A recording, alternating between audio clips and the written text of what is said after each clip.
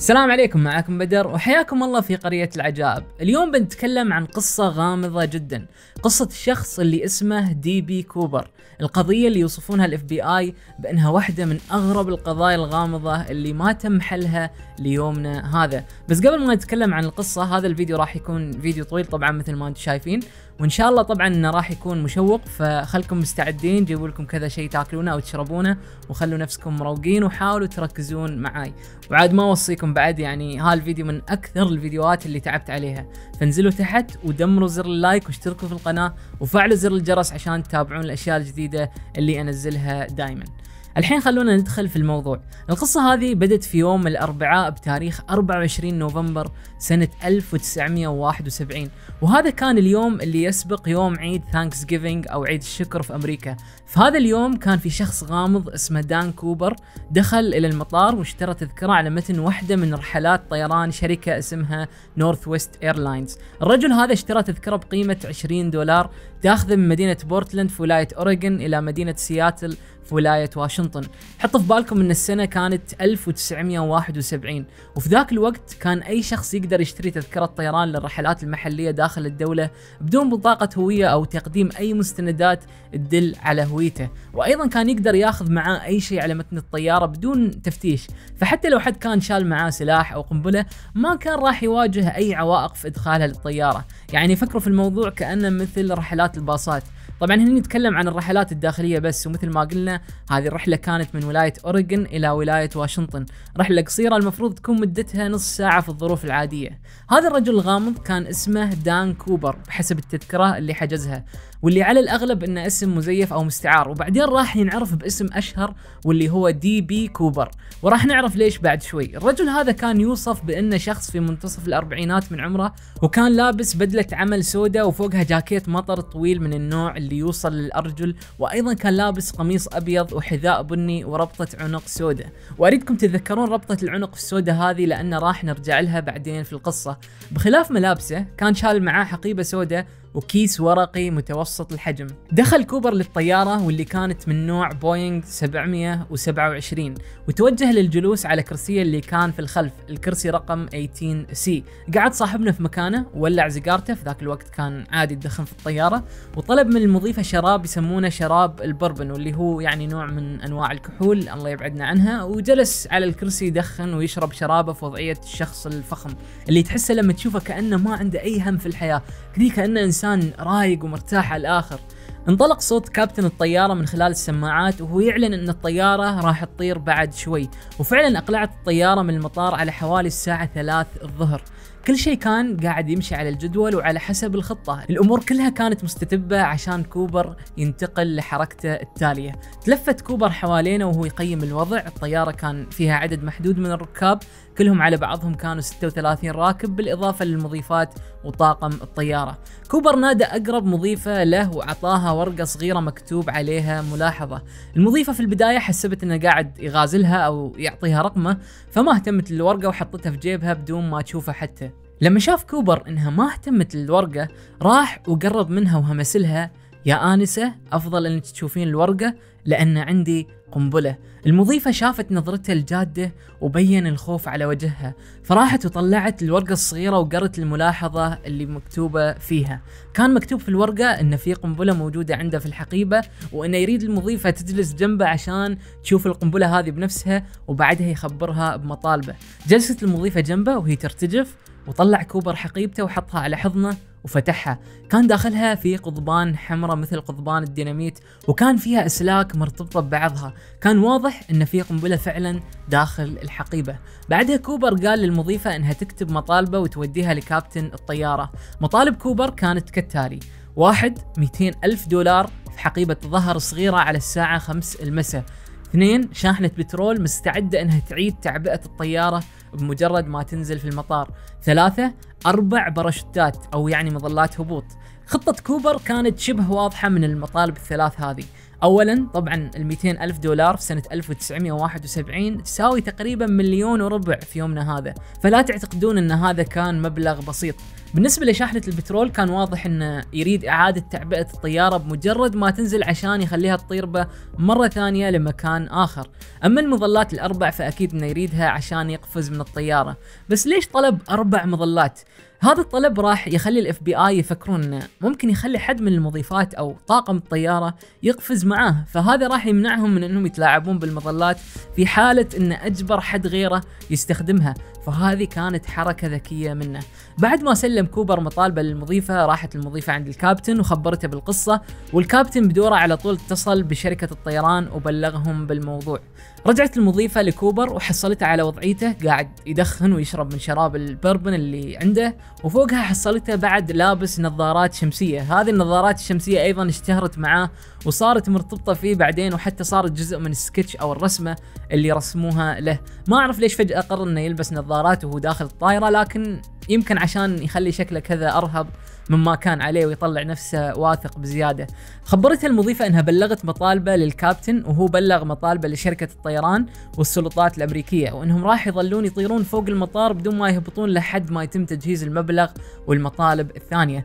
تقول المضيفة إن من أغرب الأشياء اللي شافتها هي كيف إن كوبر كان هادي ومروق طول الوقت والوضع هذا كله كأنه ما هام منه نهائيا وفعلا يعني مهما كان الواحد مجرم أو حرامي متمرس شيء صعب إنه يكون بهالهدوء اللي توصفه المضيفة. لكن واضح إن كوبر كان آدمي من نوع مختلف ما كان متوتر أو متنرفز ابدا. وفعلا لما وصلت الطيارة لوجهتها ظلت تطير فوق مطار سياتل لفترة. كانت السلطات وال FBI قاعدين يجهزون المطالب اللي طلبها كوبر. طبعا المسافرين ما كان عندهم خبر بالسالفة نهائيا وحتى الكابتن أعلن لهم إن في مشكلة بسيطة في المطار وراح يتأخرون في الهبوط لفترة غير معلومة. طبعا هذا كله عشان ما تصير حالة هلع بين المسافرين. الطيارة ظلت تطير لأكثر من ثلاث ساعات فوق المطار لحد ما أخيرا قالت السلطات إنهم أمنوا مطالب كوبر وإن الطيارة ممكن تهبط بعد ما حل المساء وبطلب من كوبر نزلت الطيارة في مكان نائي من المطار وطلب من الكابتن إنه ما يشغل ليتات الطيارة وإن كل أغطية النوافذ تتسكر. لأنه كان حاسب حسابه إن ال FBI ممكن يكونون حاطين قناص ممكن يغتاله عن بعد في أي لحظة لو شافه. فكان رجل فعلا ذكي ومتيقظ لأي شيء ممكن يصير. بعد ما نزلت الطيارة كل مطالبه كانت جاهزة. السلطات يعطون 200 ألف دولار ومظلات الهبوط الأربع وجات شاحنة البترول وأعادت تعبئة الطيارة. بعد ما أعطوه مطالبه كوبر أفرج عن 36 راكب اللي كانوا في الطيارة وما بقى فيها غيره ومعاه طاقم الطيارة. بعدها طلب كوبر من الطيار إنه يقلع بالطيارة مرة ثانية ويتجه للمكسيك. وأيضا طلب منه إنه يظل على ارتفاع عشرة آلاف قدم من الأرض واللي يعتبر ارتفاع منخفض. وأيضا طلب منه يطير بسرعة بطيئة. طبعا السلطات الأمريكية ما خلت الطيارة تطير بروحها. في الواقع أرسلوا وراها طيارتين حربيتين من نوع F 16 طبعا الطيارتين هذيلا كانن قاعدات يطيرن بشكل المفروض إنه غير ملاحظ واللي سهل الموضوع هذا إن الوقت كان مساء والدنيا ظلام وأيضا الجو كان ممطر ومغيم فكان صعب إن كوبر يلاحظ الطيارات هذه. لكن في كل الأحوال كوبر كان عارف على الأغلب إن في طيارات قاعدة تلحقهم. بعدها تقريبا على الساعة 8 المساء طلب كوبر من المضيفات إنهن يروحن لقمرة القيادة ويتركنه بروحه في قسم المسافرين. انصاعت المضيفات لطلبه وظل كوبر وحيد في قسم المسافرين. بعدها بفترة بسيطة لاحظ الكابتن تحذير يخبره أن الباب الخلفي للطيارة انفتح وهذه الطيارة مثل ما قلنا من نوع بوينغ 727 واللي كان بابها الخلفي عبارة عن سلم ينزل على تحت ممكن ينفتح عن طريق أي شخص داخل الطيارة. ما كان في الطيارات هذه ذاك المستوى من الحماية في ذاك الوقت. لما شاف كابتن الطيارة أن الباب انفتح والضغط تغير في الطيارة هذا خلاهم يعتقدون إن كوبر نقز من الطيارة. وفعلا لما المضيفات رجعن لقسم المسافرين حصل باب الطيارة مفتوح وكوبر مختفي وراحت معاه القنبلة والفلوس ومظلتين من المظلات اللي كانت موجودة واحدة خلفية وواحدة أمامية احتياطية وبقت مظلتين من المظلات الأربع في الطيارة. المنطقة اللي قفز فوقها كوبر كانت عبارة عن غابة موجودة ما بين مدينة سياتل اللي طارت منها الطيارة ومدينة رينو الموجودة في ولاية نيفادا. اللي صار لكوبر بعد ما نقز من الطيارة هو شيء اختلف عليه الناس لمدة 50 سنة من وقت الحادثة في سنة 1971 ليومنا هذا. لكن الشيء الأكيد أن كوبر بعد بعد هاللحظة ما راح ينشاف ابدا مرة ثانية. حتى لحظة قفزة من الطيارة ما حد انتبه لها من الطيارات الحربية اللي كانت قاعدة تتبع الطيارة. وهذا الشيء راجع لأن الوقت كان مساء والدنيا ظلام وأيضا الطقس كان سيء. بمجرد ما نزلت الطيارة في المطار ال FBI دخلوا فيها وقلبوها من فوق لتحت وهم يدورون على كوبر أو أي شيء يخصه. وهذا طبعا يقصي احتمال إن كوبر كان متخبي في الطيارة بدون ما حد يعرف. الأثر الوحيد اللي بقى من كوبر في الطيارة هو ربطة العنق السوداء هذه واللي تركها وراه بعد ما نقز من الطيارة. ليش ترك ربطة العنق هذه؟ ما في حد يقدر يجزم بالسبب لكن الاعتقاد هو لأنها أعاقته وهو يربط المظلات وحقيبة القنبلة وحقيبة الفلوس على جسمه. الربطة هذه كان ممكن يكون عليها أثر حمض نووي ممكن يقود لهوية دي بي كوبر لكن في ذاك الوقت ما كان في عندهم تحليل DNA أو حمض نووي فحطوها على جنب في بداية التحقيق. لكن بعدين رجعوا لها بعد سنوات لما صارت التقنية أحدث واكتشفوا فيها اكتشاف راح نتكلم عنه بعدين في المقطع. بعدها بدأت عملية تحقيق طويلة وعريضة في القضية هذه من قبل ال FBI أول خطوة كانت البحث عن أي أثر لكوبر في الغابة اللي قفز فوقها. كانوا يتوقعون أن كوبر على الأغلب ما نجا من القفزة هذه لأن الظروف اللي قفز فيها كانت ظروف صعبة جدا. الدنيا كانت ظلام والجو كان ممطر ومغيم والريح كانت شديدة. لكن بعد أيام من البحث ما حصلوا له أي أثر في الغابة لا هو ولا جثة ولا أي شيء يخصه الرجل اختفى تماما. بعدها تم التعميم على شكل كوبر ورسم سكتش لوجهه بحسب الوصف اللي قدمته مضيفتين من مضيفات الطيران ويعتقد إن هذا السكتش والوصف دقيق جدا لأن المضيفات قضن ساعات طويلة معاه وتاملن في ملامحه بشكل جيد جدا. المضيفتين تم أخذ وصفهن له بشكل منفصل وعطن وصف مشابه لبعضهن. دي بي كوبر كان رجل طوله حوالي 180 سنتيمتر الصدر ووزنه حوالي 80 كيلوغرام ووجهه كان يدل على شخص في منتصف الأربعينات وعيونه كان لونها بني. صوته كان يعتبر صوت غليظ بدون لهجة واضحة لكن طريقة كلامه واستخدامه للمصطلحات كانت على ما يبدو ذكية.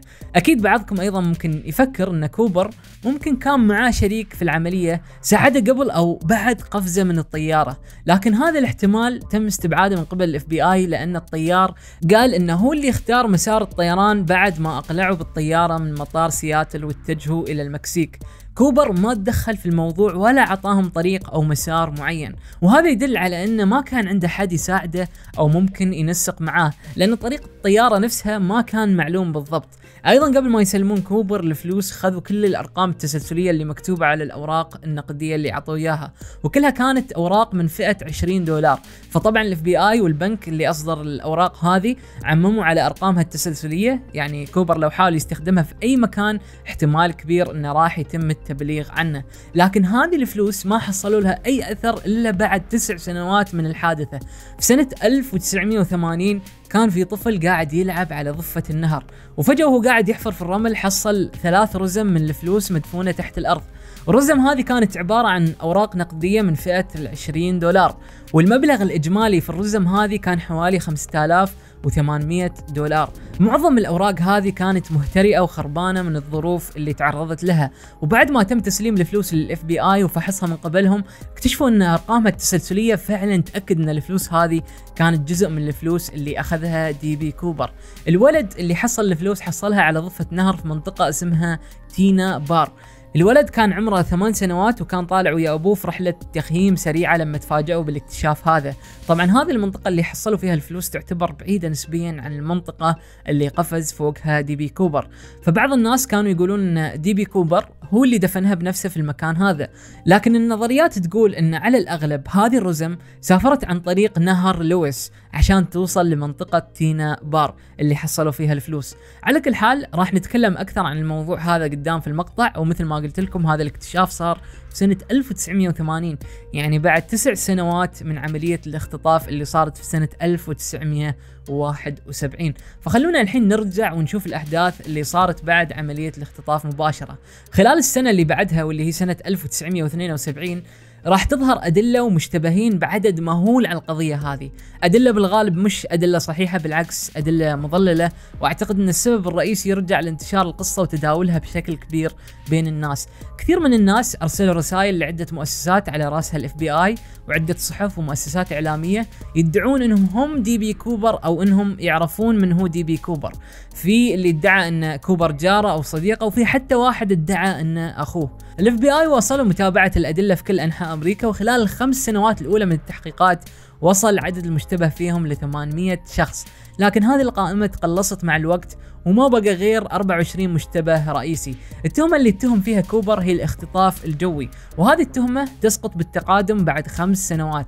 عشان كذي بعد ما مرت الخمس سنوات الأولى هذه على القضية اجتمعت هيئة محلفين كبرى وعطوا كوبر تهمة تخص الابتزاز واللي هي تهمة ما تنتهي بالزمن في القانون الأمريكي. عشان تظل القضية هذه مفتوحة، يعني لو كوبر انمسك اليوم بعد 50 سنة من عمليته المجنونة راح تتم محاكمته وسجنه، طبعا ما تم الإمساك بكوبر ليومنا هذا وبالمناسبة هذه قضية الاف بي اي الوحيدة اللي تخص الاختطاف الجوي واللي ظلت ما محلولة ليومنا هذا، كل قضايا الاختطاف الجوي في التاريخ الأمريكي تم حلها ما عدا هذه القضية. أيضا قبل ما نتكلم عن المتهمين الرئيسيين في نقطة تضحك لازم أقول لكم إياها وهي أن اسم هذا الرجل لما حجز تذكرته كان في الواقع دان كوبر. وهذا اللي قلت لكم إياه في البداية. وفي الواقع ما في حد يعرف من وين بالضبط جات تسمية دي بي كوبر الاحتمال الأكبر إنه في مكان ما أثناء تحقيقات الاف بي اي في حد غلط في اسمه في محضر أو تقرير أو شيء كذا وكتبه دي بي كوبر وهذا الاسم علق معاه واشتهر فيه بدال الاسم الأصلي اللي كان على التذكرة واللي هو دان كوبر طبعا في كل الأحوال هذا الاسم اسم مستعار. الحين خلونا ناخذ نظرة على المتهمين الرئيسيين اللي تم اتهامهم بأنهم هم دي بي كوبر. خلوا في بالكم إن ولا واحد من هذيلا ثبتت عليهم التهمة فيعني ممكن يكون أي واحد منهم وممكن يكون ولا واحد منهم. أريدكم تشاركون تحت في التعليقات وتقولوا لي إذا كنتوا تعتقدون إن واحد من هذيل المتهمين هو دي بي كوبر نبدأ بالمتهم الأول واللي كان اسمه ريتشارد فلويد ماكوي. هذا الشخص بينه وبين دي بي كوبر تشابه عجيب خاصة من ناحية الأفعال. صاحبنا ماكوي أيضا اختطف طيارة بتاريخ 7 أبريل سنة 1972 7 أبريل يعني تقريبا بعد أربع أشهر من حادثة اختطاف دي بي كوبر. والتشابه في العمليتين هذيلا كان تشابه ما طبيعي. ماكوي اختار نفس نوع الطيارة اللي اختارها دي بي كوبر واللي هي بوينغ 727 ولما طارت الطيارة عطى المضيفة ملاحظة يقول فيها إن عنده قنبلة. الفرق البسيط إنه طلب 500 ألف دولار بدال ما يطلب 200 ألف دولار. أيضا ماكوي طلب أربع مظلات وكان هادي ورايق خلال عملية الاختطاف. وفي النهاية ماكوي قفز من الطيارة باستخدام مظلة عن طريق الباب الخلفي للطيارة. يعني بنفس الطريقة اللي سواها دي بي كوبر بالضبط. كل شيء كان متشابه لكن الغلطة الكبيرة كانت إن ماكوي ما كان حذر مثل كوبر ابدا. الحبيب ترك بصماته في كل مكان وحتى ملاحظاته اللي كتبهم تركهم مع المضيفات. فيعني كانوا يقدرون يتعرفون على خط كتابته بسهولة عكس دي بي كوبر اللي حرص إنه ياخذ معاه كل شيء يخصه ومن ضمنها الملاحظات والأوراق اللي كتب عليها. فيعني على إن العمليتين متشابهات بشكل كبير كان واضح إن ماكوي على الأغلب مجرد مقلد وما كان يتمتع بنفس ذكاء وفطنة دي بي كوبر. طبعا بسبب الآثار اللي تركها وراه كان سهل على الاف بي اي إنهم يوصلوا له وفعلا تم اعتقاله بعد يومين بس من عملية الاختطاف. لهالدرجة كانت قضيته سهلة وما تتقارن بدي بي كوبر. تم الحكم على ماكوي ب 45 سنة في السجن بسبب عملية الاختطاف. اللي سواها. وكانت في اتهامات تقول إنه هو دي بي كوبر وهو نفسه اللي كرر العملية مرة ثانية. لكن هذه الاتهامات ما تم إثباتها. والاف بي اي في النهاية استبعدوا إنه هو يكون دي بي كوبر. لأنه من وجهة نظرهم حتى لو كان في تشابه ظاهري واضح ما بين العمليتين لكن في اختلاف جوهري كبير بينهم. وفي دلائل تشير على انه شبه مستحيل يكونون نفس الشخص. أول شيء شكل وجه ماكوي صح إنه ممكن يكون في نوع من التشابه مع الوصف اللي وصفته المضيفات. لكن مواصفاته الجسدية كانت مختلفة عن دي بي كوبر. وأيضا في اليوم اللي بعد عملية اختطاف دي بي كوبر كان ماكوي متواجد مع أهله في ولاية أوتا عشان يحتفل بعيد الشكر. وصعب إنه خلال يوم حافل مثل هذاك إنه يوصل لولاية أوتا لأن المسافة ما بينهم أكثر من 1500 كيلومتر. ومستحيل إن كوبر ركب طيارة ثانية بعد ما قفز من طيارته. فكل هذه الأشياء خلتهم يستبعدون ماكوي كمتهم على إنه دي بي كوبر. ومثل ما قلنا تم اعتقاله والحكم عليه 45 سنة في السجن على خلفية العملية اللي سواها لكن ما حاكموه ابدا على قضية دي بي كوبر المفارقة أنه بعد اعتقاله قدر أنه يهرب من السجن لكن تم قتله بعدها في تبادل إطلاق نار ما بينه وبين الشرطة. الحين خلونا نشوف المتهم الرئيسي الثاني. هذا الرجل اسمه دوين ويبر. الشخص هذا اعترف بنفسه وادعى أنه هو دي بي كوبر لكن على فراش الموت سنة 1995 يعني بعد حوالي 25 سنة من الحادثة. زوجته واللي كان اسمها جو ويبر تقول إنه في ساعة وفاته دوين قربها منه وقالها عندي سر لازم أخبرك إياه أنا دان كوبر. تقول زوجته إنه بعد ما خبرها بهالشيء قبل ما يموت فجأة تذكرت كثير من الدلائل اللي كانت فعلا تأكد على هالشيء خلال حياتها معاه.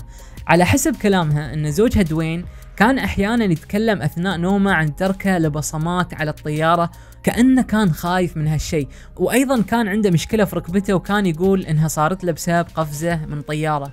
أيضا على ما يبدو إنهم حصلوا كتابات وهو كاتبينها على هوامش كتاب يتكلم عن دي بي كوبر في المكتبة. أيضا زوجته تقول إنه في مرة أخذها لمنطقة تينا بار واللي هي نفس ضفة النهر اللي حصل فيها الطفل رزم الفلوس المدفونة تحت الرمل. وهذا الكلام يعني قبل ما يحصلون الرزم هذه واللي هو فعلا شيء غريب. هل يا ترى كان دافن كل فلوسه هناك؟ ونسى إنه يستعيد الرزم الثلاث هذه أو ما قدر يحصلها. نظرية ممكنة لكن ما في شيء يثبتها. أيضا الزوجة تقول إن دوين كانت عنده تذكرة قديمة من طيران Northwest Airlines واللي هو نفس الطيران اللي تتبع له الطيارة اللي اختطفها كوبر. وما كان في سبب إن دوين تكون عنده تذكرة مثل هذه. أيضا دوين كان جندي خدم في الجيش أثناء الحرب العالمية الثانية وكانت عنده خبرة في التعامل مع المظلات والقفز من الطيارات. وفوق هذا كان عنده تاريخ إجرامي ومحاولات تزوير وسرقة انسجن من وراها لمدة ست سنوات. وحتى مظهره الخارجي كان شبيه بمظهر دي بي كوبر. فيعني كان في احتمال فعلا يكون هو الشخص المطلوب. وحتى بعد ما مات كان في بعض المحققين من ال FBI كانوا حاطين عينهم عليه ويبحثون في ملفه. لكن في النهاية ما قدروا يحصلون دليل قاطع يثبت عليه التهمة. خلونا الحين نروح للمتهم رقم ثلاثة. المتهم هذا اسمه كينيث كريستنسن.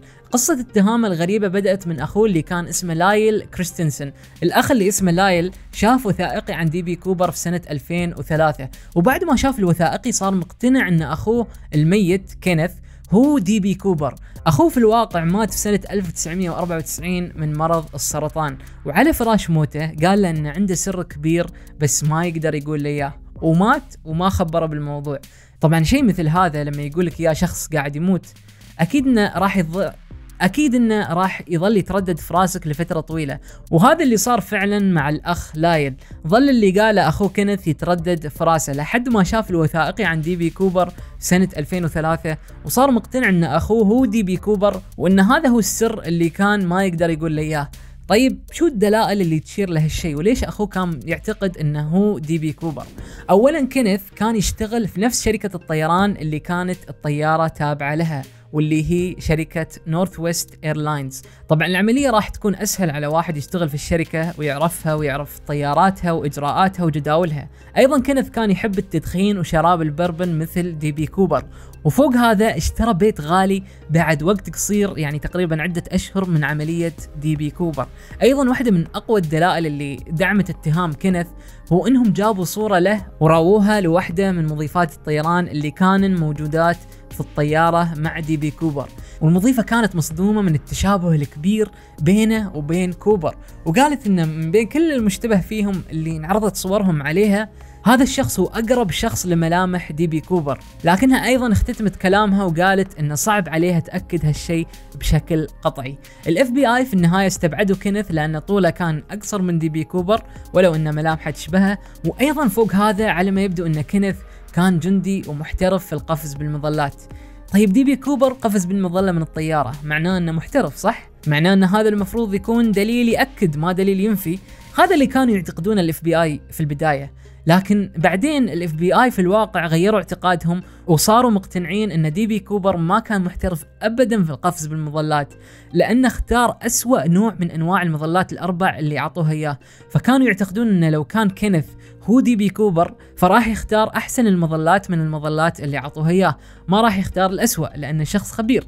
وأيضا لو كان دي بي كوبر خبير ما كان قفز في الجو والمكان اللي قفز فيه. فهذا الشيء خلاهم يستبعدون كينيث كمتهم.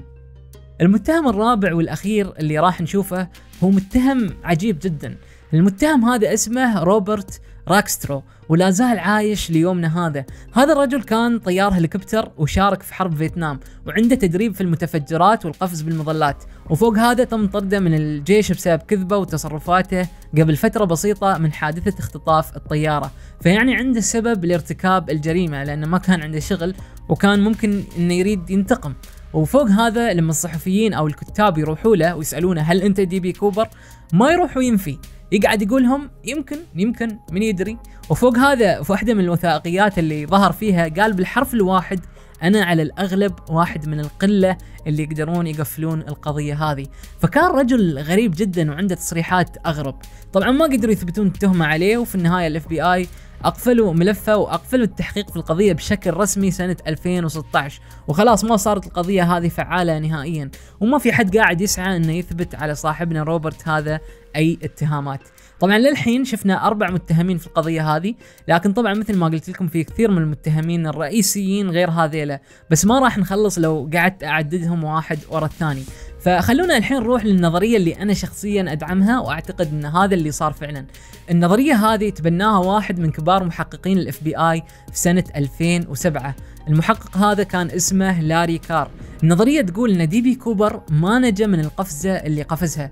مثل ما قلنا ال FBI اعتقدوا في البداية إن دي بي كوبر كان مظلي محترف لكن في الواقع تبين بعدين إن على الأغلب كان شخص مبتدئ خاصة لأنه اختار نوع المظلات الأسوأ من المظلات الأربع اللي أعطوه إياها. ولو كان محترف كان راح يعرف إن المظلات الثانية اللي تركها كانت أحسن من المظلات اللي أخذها. وفوق هذا هو قفز في ظروف ما في مظلي محترف أو عاقل راح يقفز خلالها. فصارت عند ال FBI قناعة أن كوبر كان مظلي سيء أو مبتدئ.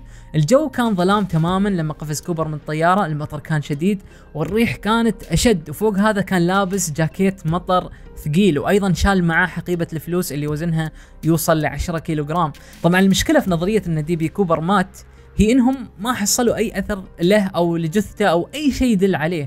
وهذه مشكلة كبيرة في النظرية هذه. كيف مات واختفى بدون أي أثر رغم كل عمليات البحث المكثفة؟